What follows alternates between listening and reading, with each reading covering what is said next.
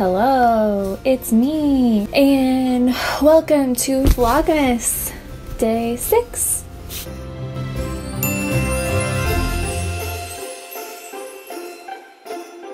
Today I am going to do a sit down vlog about my chronic illness journey. I wanted to do my chronic illness journey video for a long time now, but the journey is kind of long and complicated, and I want to give as much information as possible. It's taken me a few weeks to put together, but if I lean in here, I'm just looking at my little list that I have made of all the events. I will just be looking at that randomly. Let's talk about what a chronic condition or illness is. A chronic health condition persists over a long period of time. I think it just has to do with it has long lasting effects and it's over a long stretch of time. And there is a gray area between what is and what isn't a chronic illness. Like, I have been diagnosed with a condition called PMDD. And so that could be solved over time, that could be cured. But also, some people are never cured from PMDD. So it's just like, it's hard. I think it depends on every single person, it's a little bit different. Is it PMDD or is it just a hormone imbalance? Like, PMDD is not curable, but the symptoms of it could be. When I was between the ages of 0 and 10 years old, I started to display early signs of depression and anxiety and separation anxiety. So, for example, um, my mom would find me sitting in the timeout corner or in the timeout chair, and I would be putting myself in timeout. And she would ask me, "Why are you putting us? Why are you putting yourself in timeout?" And I would say, "Well, I did something bad." And she would ask me the bad thing that I did, and she would say that it wasn't something bad at all. And so it was obvious that even as a toddler, I was beating myself up about things that I shouldn't have been. And I don't remember this, but she vividly does. And just they made up all these solutions to like if I, if we if they were going somewhere if if our family was going somewhere and we got there and it was closed, I would flip out because I could not deal with change rapidly. Also, when I was a toddler, I was diagnosed with an overactive gag reflex because I was vomiting all the time.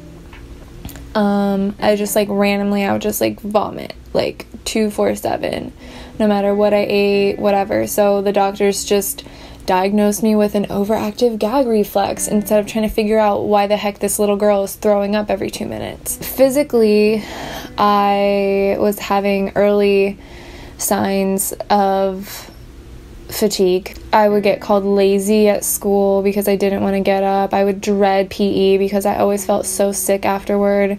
I was also diagnosed with hypoglycemia, but not like officially diagnosed. It was just like, oh yeah, her blood sugar's low. Just give her a piece of candy or give her juice when her, when she's acting like that.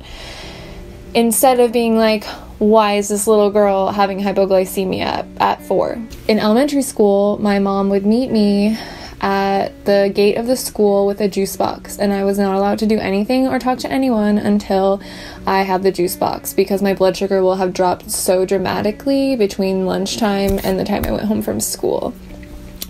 That's also around the time I started really dreading school and hating going to school because I would get overstimulated and I would start to feel sick.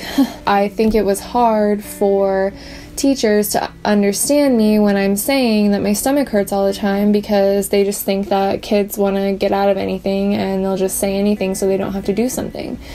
And that's not true. I was asking for help, but no one believed me, and that's a theme that you're going to see throughout this. I was also diagnosed with heart palpitations uh, under the age of 10. I don't remember when exactly that was, but that's a sign of adrenal fatigue. Um, they took EKGs and they came out normal, otherwise, just this like heart palpitation um, randomly, which wasn't dangerous and it's like a thing. Um, but again, no one was like, why is this little kid having heart palpitations? Like, I just don't understand where that thought process is. Okay, moving on. From ages 11 to 15 now. At age 11, I went to Girl Scout camp, and there were tick checks, there were ants, there were bed nets, platform tents. I suspect that this is where I caught Lyme and Babesia. Um, like I said, every night we had tick checks, and I got sick, and I had to come home early. Um, and no one believed me that I was sick surprise and they just thought I was homesick when really I wasn't. I just wasn't feeling well and overstimulated and they were going from sun up to sundown and past 10 o'clock at night every night and I just was really fatigued and I could not keep up. Now I didn't have Lyme before I went there but right when I got it, these symptoms got worse. Also, at this time, the depression and anxiety really reared their heads, like causing me a lot of discomfort, causing me to make decisions because my depression and anxiety were in charge. I also had an acceleration of physical symptoms around this age. I had a lot of inflammation. I would have my mom take me to the GP and ask her why I was fat because I was a competitive athlete, a competitive dancer, and I was a pretty active person, even as fatigued as I was feeling, even as lazy as I was. Our GP told my mom that I was just secretly eating and not telling her.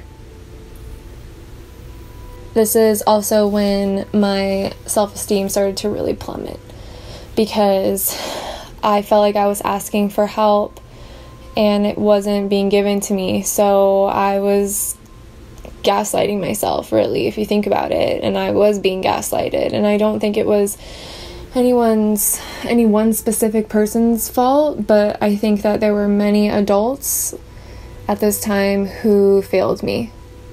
I was also showing early signs of food sensitivities and allergies. I would eat something and then vomit. I would eat something and have diarrhea. It got to the point where I just was used to having diarrhea all the time, and I thought that that was like okay. It's not. My asthma started getting much worse. That was combated with an inhaler and um, the nebulizer. At this point, I started to also get sick once a month. Um, I would always have a cold. I started to develop a chronic cough. Um, also, at this time, the early signs of PMDD and hormone imbalances started to show. I also had frequent athletic injuries and I was on crutches every six months with an ankle problem or a knee problem. And yeah, you expect athletes to get hurt, but it, for me, it was all the time. And instead of someone going, Why is this girl getting injured so often? it turned into, I'm a baby and I am faking it, and it's not really that bad. I figured out later that I'm malnourished because of another condition which I hadn't been diagnosed with until this year my body was just not processing B vitamins. So let's move on to ages 16 to 18. At 16, I had a traumatic experience. My mom cut off her fingers with a table saw, and I had to handle it. And then she was in the hospital for a few weeks after that. And then after that, it just like her mobility wasn't exactly the same. And I know it seems like it's only two fingers, and they sewed them back on, but I think that just like was the straw that broke the camel's back for me. As far as mental health issues, they just extremely heightened. Like if, if it was a graph, it would have been like a slow upturn and then when I turned 16 and this happened, it just would have been like woo, like really fast in a short amount or like this, I guess, really fast in a short amount of time. I went to a psychiatrist at that time that and this was my first experience with any kind of mental health doctor and she was awful. She gave me some xanax and she had me on xanax three times a day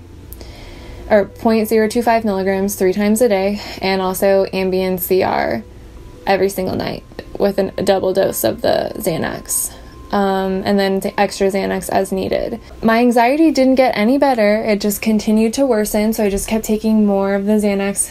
I don't remember junior year of high school. I do not remember it. I couldn't tell you my teachers. I couldn't tell you what I did. I couldn't tell you, like, I look at photos, like, we went on field trips to like SeaWorld and stuff. Do not remember this. Those seeing those photos are the first time I have seen them. Like it seems like that. Why that doctor thought it was thought it was okay to just drug me instead of trying to figure out what was wrong is like another thing. And this is like I said, it's gonna be a theme. It's like pass the buck on this girl, you know. Um, so physically, my fatigue began to worsen a lot. I couldn't get out of bed to do anything, and we all thought it was mental health issues. So I hated school, and my mom helped me enroll in dual enrollment. So I was going half part time to school, part time high school, and then part time to college. And I'm really glad I got to do that because otherwise, I don't think I would have. I would have just dropped out and done at home school so I would go, and that, at this point also I had quit choir because my voice wasn't reliable. I kept losing my voice all the time. Now I realize that that's inflammation. I mean, after I quit singing so much, I went to dance full time, and I was dancing for three or four hours a night, and I would wake up in the morning and then not be able to wake up, and just be like completely miserable. I feel like I've been hit by a truck. Um, and like yeah there's some soreness that you would expect but it was just like to the point where my limbs felt so heavy. And like back then i'm i beat myself up and i'm think i think to myself you're being a baby suck it up. You can do this. Don't be such a weakling. Because for my whole life any kind of physical activity i was called weak. I was always last i would get so ill during exercise at school that i would have to sit down and then of course People thought I was lying because classic me, right? I'm just a liar about all my medical conditions. Um, please hold. Levi's knocking on the door. Okay, buddy. Hi. Okay, why don't you lay down? Come here. Come here. Lay down right here. There you go. Good boy. Okay, back to the video. My chronic cough got to the point where I had to bring my nebulizer everywhere I went and it was really annoying. um, and then when I turned 18, I was hospitalized for mono, and I was hospitalized for I think like four or five days. I honestly don't even remember because I was still on a bunch of um, Xanax. my mom brought me into the ER because my blood pressure was extremely low. This is, of course, an indication of liver failure and adrenal fatigue, or liver stress and adrenal fatigue. At this point is when I really think the ME started to creep in because I was now I didn't know it at the time, but at this point, around the age of 18, I was now dealing with three co infections Babesia, Lyme disease, and Epstein Barr virus. I got more ill at the hospital, and they, but they couldn't figure out what was wrong with me.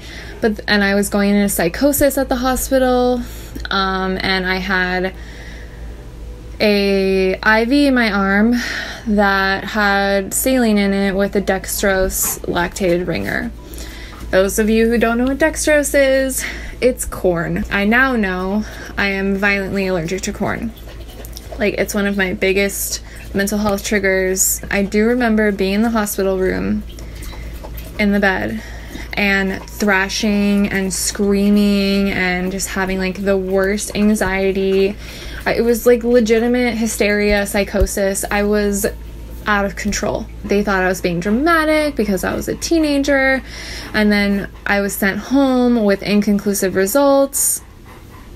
They couldn't figure out what was wrong with me, and I was seemed to be stable with that extremely low blood pressure. So they were like, "Bye." I had extreme post hospitalization fatigue, and the excuse is just like teens sleep a lot. Like she just had mono, you know.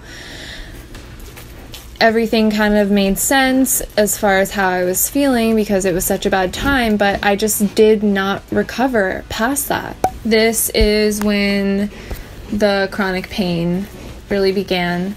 This is also when I had an initial drop in weight because I could not eat as much as I used to for all intents and purposes as far as like looks wise. Hi, baby. Mm-hmm. Okay, sorry. I lost some weight and I, which everyone was like, like I was sick and that's why I lost weight. Yet I got celebrated at my dance studio and by my friends for losing weight. And so I was like, yay, I'm glad I got sick because then I got to be skinny because my BDD was so bad already. I was just like, I didn't care if I was ill, I didn't care what it took as long as I was thin. And this is a theme that will develop over time as well. I was cleared three weeks before I went to college in fall of 2010 by my doctor. And this time it was just my GP, the same one that told my mom I was secret eating yeah, I still went to her because I didn't like her, but what choice do you have when that's the doctor that your family chose to go to? Like, I just am not an assertive person. You're so cute. I went to college in fall of 2010. And hey, thanks for watching. Click the link below to watch part two.